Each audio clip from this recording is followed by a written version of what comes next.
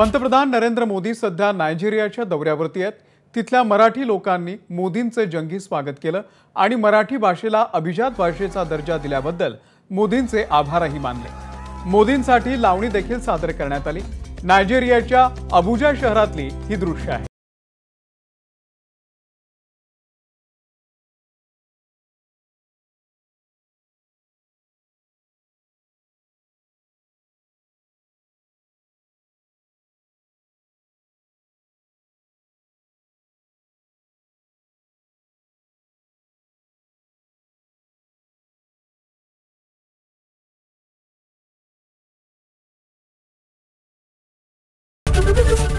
ABP माझा उघडा डोळे बघा नीट.